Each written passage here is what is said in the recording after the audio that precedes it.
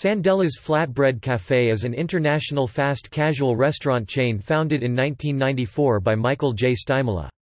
The chain is known for its various proprietary flatbread dishes. It is based in Redding, Connecticut. As of October 2015, the company had over 130 restaurants in the United States, India, Malta, Saudi Arabia, and the United Arab Emirates. Some of the company's locations are franchise operations. Sandella's Flatbread Café fare includes flatbread sandwiches, wraps, panini sandwiches, rice bowls, flatbread pizza, quesadillas, salads.